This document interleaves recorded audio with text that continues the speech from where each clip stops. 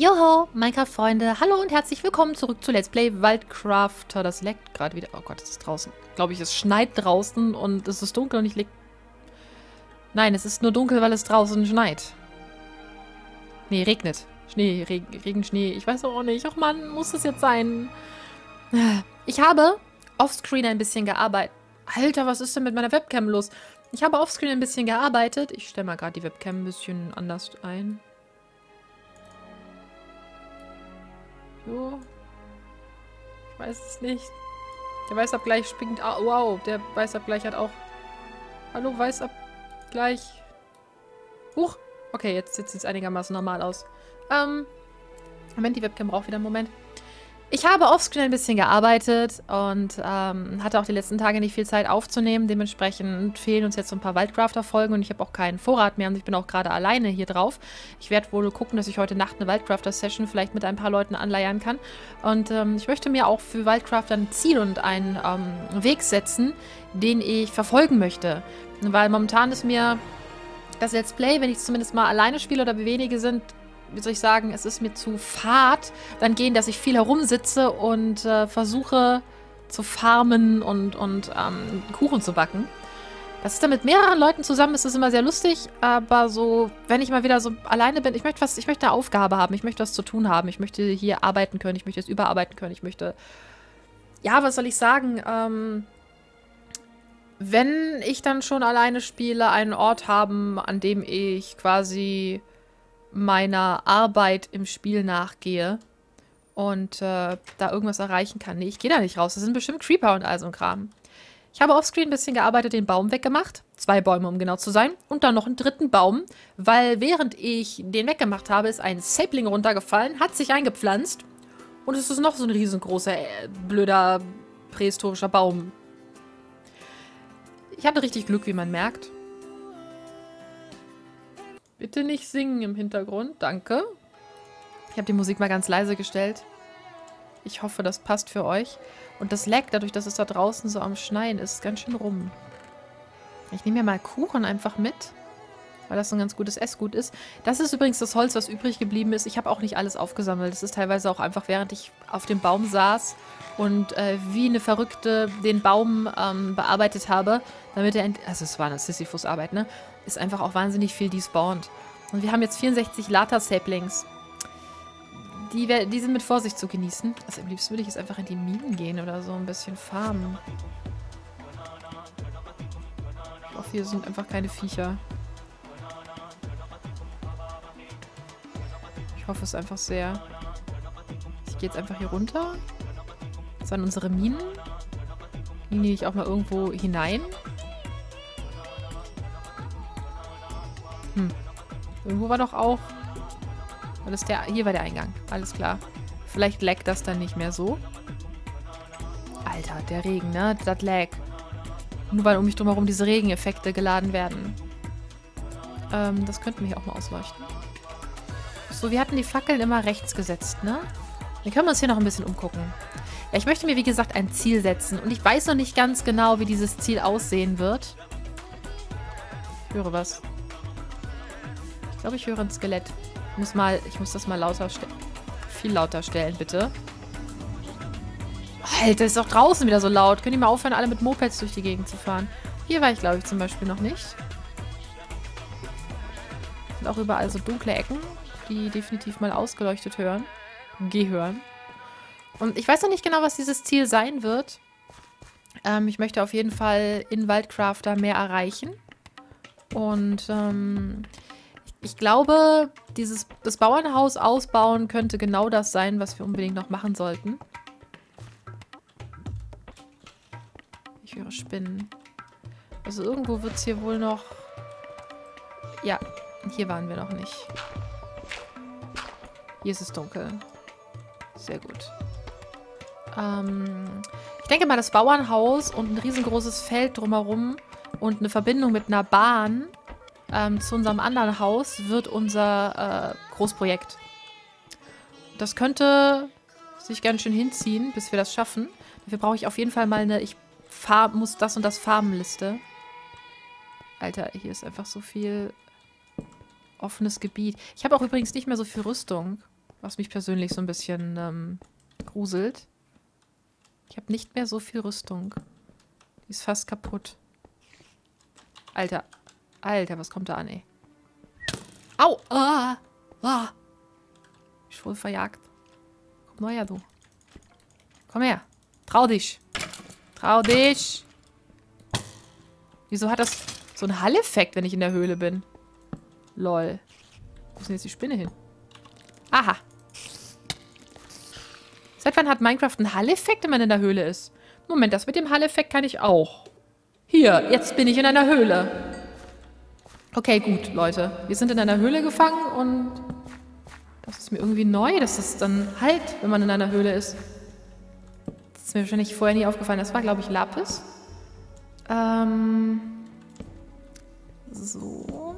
Da sind Schmetterlinge und Lava. Vor Lava habe ich ein bisschen Respekt. Ich habe kein Wassereimer mit dabei. Nee, wir müssen erst Wasser finden, um das... Schmetterlinge und eine Fledermaus. Die haben wahrscheinlich ein etwas äh, complicated relationship. Kann ich mir gut vorstellen. Ansonsten würde ich ganz gerne euch in den Kommentaren bitten, dass ihr mir schreibt, was ihr gerne im Waldcrafter-Projekt sehen möchtet. Ja? Dass ihr mir schreibt, was ihr gerne sehen möchtet, mit wem ihr das gerne sehen möchtet, was ich machen soll, ähm, was wir entdecken sollen, was wir vielleicht bearbeiten sollen und äh, in welcher Form und wann und wie. Also einfach mal eure Ideen raushauen. Und ihr sagt, ja, nee, mich interessiert total gerne das und das Crafting und ich würde gerne mal sehen, wie das jemand macht. Schreibt es in die Kommentare. Ich versuche ähm, dann quasi so eine Art äh, Konzept für mich aufzubauen, was wir hier alles anstellen können. Meine Franz zum Beispiel hat sich sehr ganz geschickt gemacht. Der hat ja gesagt, dass er, ähm, ob ich irgendwas übersehen habe an Eisen, nee, dass er sein Sushi-Restaurant aufmacht und dann hat er halt etwas, woran er da arbeiten kann. Das finde ich halt ziemlich praktisch. Ähm, ich persönlich hätte halt wirklich gerne die Bäckerei. Und ich bin jetzt am Überlegen, ob wir, und das möchte ich euch jetzt mal fragen, bevor ich an unsere Waldcrafter herantrete, ähm, uns nicht einen Ort raussuchen, den ähm, man gut bebauen kann, in einem angenehm, nicht so laggenden Gebiet, ähm, wo wir uns ein Dorf aufbauen. Soll heißen, jeder baut dort einen Laden, ein, ein Haus, und äh, was auch immer er sonst noch aufbauen möchte, aber so richtig dorfmäßig. Also ich finde, Wildcrafter ist erstmal ist es sehr gut angelaufen mit vielen Kollegen und man hat dort ähm, erstmal in Ruhe quasi das machen können, worauf man Bock hatte und jetzt würde ich, ich würde gerne projektmäßiger daran gehen. Ich würde gerne was daraus machen, mehr daraus machen, weil ich finde, wir harmonieren alle ziemlich gut miteinander, sind alles unglaublich nette und lustige Leute und wir können sehr viel Spaß miteinander da haben mit dem Projekt und da bin ich halt der Meinung, dass wir uns so ein Dorfprojekt anlachen sollten, dass jeder so ähm, quasi sich im Dorf verwirklicht. Dann macht der eine vielleicht eine Pseudokirche auf, der andere, also ich würde halt gerne einen Marktplatz haben, an dem äh, meine Bäckerei steht. Dann kann man noch ein paar Wahrzeichen aufbauen und so weiter und so fort. Also das Ganze so ein bisschen drüber hinaus entwickeln. Hier, da ist noch Eisen. Alles klar. Äh, ich mach mal hier ein bisschen mehr Fackeln. Irgendwie, irgendwie ist es unglaublich dunkel mit diesem Shader manchmal. Und ich fände deswegen ähm, die Idee, ein Dorf aufzubauen, richtig gut. Also ich weiß nicht, wie ihr das seht, aber ich bin der Meinung, dass das eigentlich ähm, jetzt mal langsam fällig ist. Also wir haben schon über 50 Folgen, ich weiß gar nicht, was, wie viele Folge Wildcrafter das ist. Oh, jetzt habe ich die Fackel weggemacht. Naja, die war ja auch jetzt an der Stelle wieder zu viel. Ähm, viele haben, glaube ich, auch schon mehr als ich. Ich habe das ja auch eine Zeit lang nicht täglich gebracht, dann habe ich es wieder täglich gebracht. Und momentan macht es mir mehr Spaß als das normale Minecraft, deswegen spiele ich halt gerne jetzt lieber Wildcrafter. Und hat es momentan, äh, das ist das aktuelle äh, Minecraft-Projekt, wo ich ganz normal so meinen Vlog mache, erstmal auf Eis gelegt, auch dahingehend, dass viele Themen, die ich da ansprechen würde, ich bereite gerade Vlogs vor. Also ich bereite gerade Vlog-Content vor, Themen, über die ich gerne reden möchte, bisschen gebündelter und direkter und nicht einfach so während Minecraft verwurstet, sondern ich möchte mich für die Kamera setzen, ich möchte vielleicht so ein paar Sachen rausrecherchieren, euch Screenshots zeigen, euch, euch Bilder zeigen, ähm, Filme zeigen und mit euch über Themen reden, die ich nicht nebenbei in Minecraft thematisieren möchte. Ähm, schlicht und ergreifend, weil es Themen in dieser Welt gibt, die haben es nicht verdient, dass sie Seitencontent sind oder Erzählcontent, sondern entsprechend, ja, ähm, entsprechende Hauptrolle in einem Video spielen. Und mein Vlog-Kanal, da habe ich jetzt konzeptionell ein bisschen dran gearbeitet. Ähm, ich werde dann noch gucken, ähm, muss jetzt gerade mal finanziell so ein bisschen bei mir schauen, wie das so klappt, wegen Intros und so weiter und so fort. Da habe ich halt Sachen im Kopf, die ich gerne umgesetzt haben möchte. bei dem ich mir noch jemanden suchen muss, der das machen kann. Und mal wenigstens mal wieder ein Level ab, bis wir wieder sterben. Und ähm, dann äh, sind wir wieder ohne Levels da. Ich hatte schon so viele Level. Und bin ich, ich bin die ganze Zeit nicht gestorben in, in dieser äh, Projektsache und dann sowas. Ähm, ja, also ich finde, ich finde äh, Stadt ziemlich cool, die Idee, dass wir sagen, ja, wir bauen eine Stadt auf in dem und dem Stil. Vielleicht ist jetzt meine Idee schwedisch, also so vom, vom, vom Artstil, ne? die Art und Weise, wie, ähm, wie es gestaltet sein soll. So schöne kleine rote Schwedenhäuser quasi. Ah ja, hier war die Sackgasse, dann kann man hier hoch. Und dass das vielleicht irgendwie auch so eine, in so einer flachen bis bergigen Landschaft irgendwo ist, wo es halt nicht so laggt, der wir gut miteinander spielen und craften können. Und äh, dann kann man auch wirklich sowas wie kleine Shops aufbauen. Muss ich mal gucken. Fände ich ziemlich cool, würde mir viel Spaß machen. Und dann war halt einfach auch die Überlegung, ähm, weil es so viel Spaß macht, auf dem Server zu spielen, mit Leuten zusammen zu spielen und aufzunehmen, ähm, ob ich das vielleicht auch ein bisschen auf meine normale Minecraft-Karte ausweite. Ich weiß es noch nicht. Wir schauen uns das mal an, ob das was ist. Aber gerade im Moment habe ich an Wildcrafter irgendwie, weil ich da mehr zu tun habe, weil es da mehr gibt, mehr Freude. wie gesagt, wir sind die Vlog-Themen, die wir sonst in der Daily Dose Minecraft beziehungsweise im normalen Minecraft Let's Play durchgegangen sind, die sind mir einfach auch momentan zu wichtig, als dass ich die als Randcontent eines, eines Spiels gestalten möchte. Ich hoffe, ihr versteht das. Ähm, ist auch für mich gar nicht so einfach jetzt nach dem Urlaub. Es ist sowieso das Sommerloch, das YouTube-Sommerloch, wie man es immer so schön nennt. Ähm, da gehen die Views runter, die Kommentare sind ganz grauenvoll und stehen meistens nur Hi, Hallo, Erster, Zweiter, wo du dir einfach denkst, ja, äh, Feedback, ich mache das, ich meine, was, was, was, oh, ich kann es nicht mehr einlagern. Ähm, was kriegt man dann als YouTuber ähm, als Feedback für die Videos, die man erarbeitet und ähm, macht und gestaltet? Ähm, in der Regel kann man sich darüber freuen, dass man ein bisschen Geld damit verdient. Das ist wenig pro Video berechnet. Aber man hat das ja mal unter einem anderen Tenor angefangen. Ähm, jeder YouTuber hat, äh, also fast jeder YouTuber hat mit dem Tenor angefangen, ey, ich will lustige Videos machen und Leute unterhalten.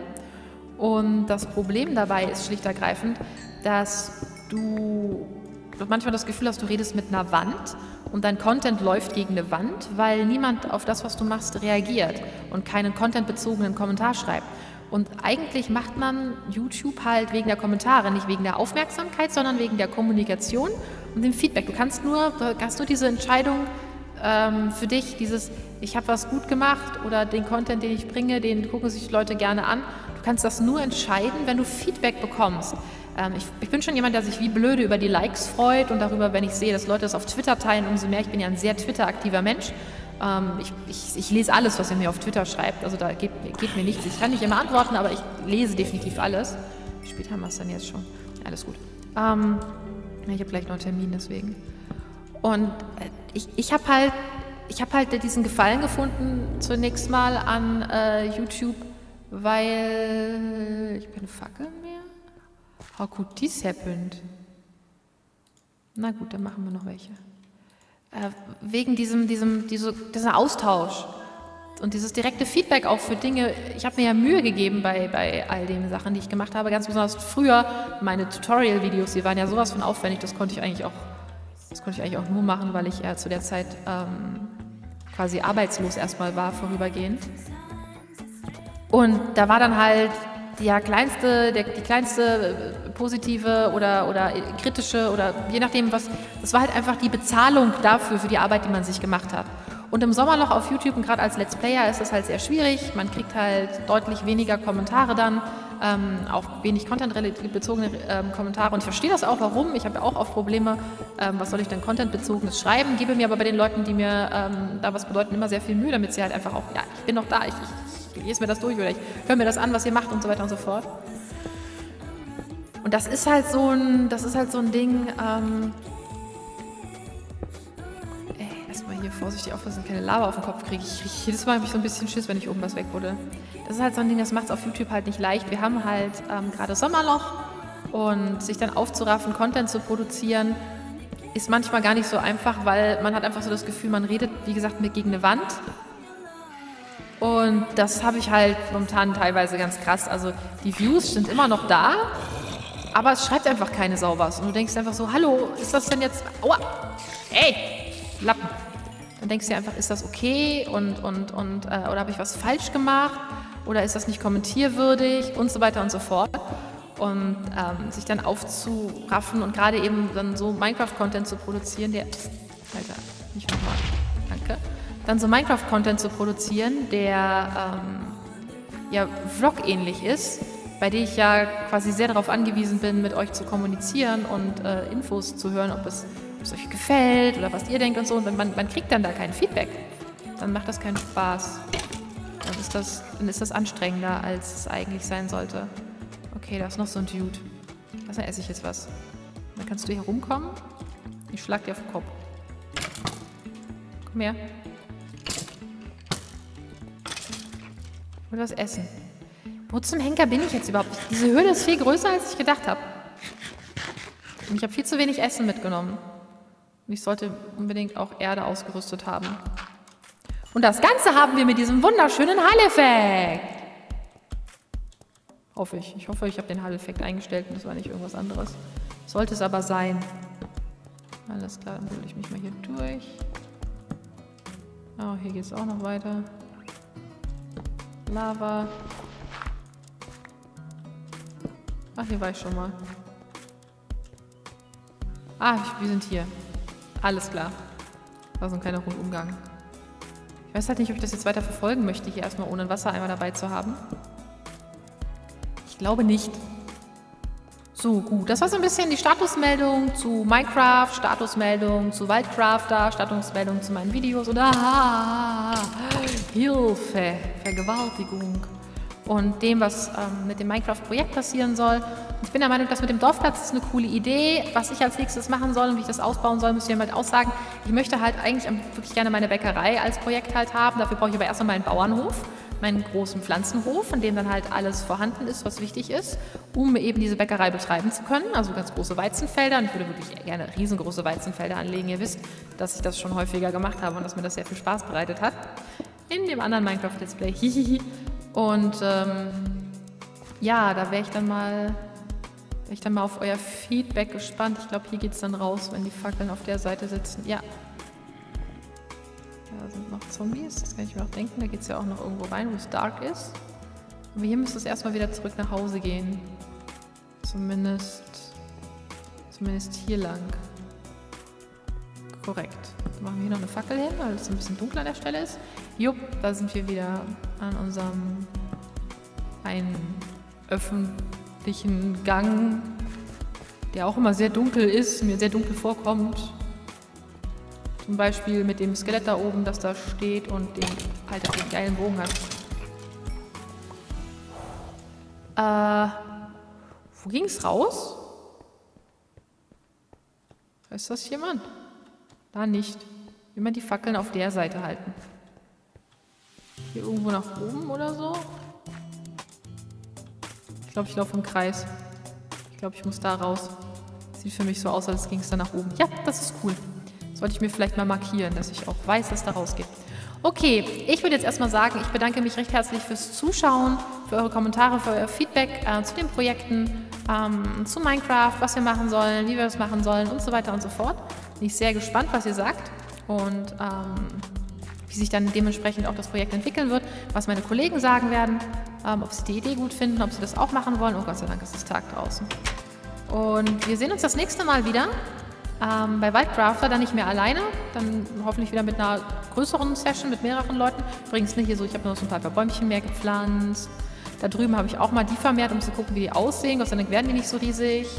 Und den einen großen da habe ich gelassen, aber den hier den habe ich komplett eliminiert. Ähm, so.